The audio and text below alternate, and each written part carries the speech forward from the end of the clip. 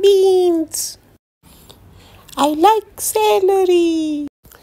I even love wall. But I don't like dog food.